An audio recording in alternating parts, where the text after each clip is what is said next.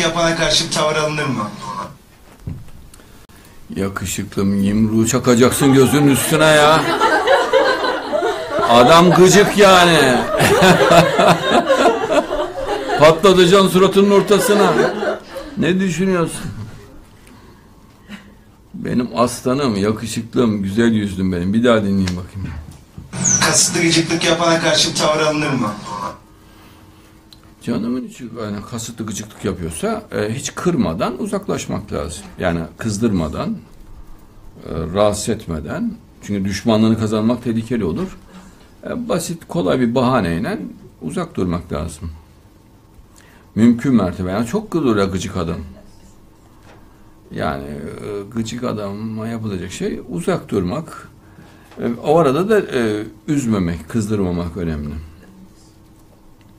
Ya ilk başta söyledim mi şaka yani. Sakın öyle bir şey yapayım deme yani. evet dinliyorum. Cumhurbaşkanı danışmanı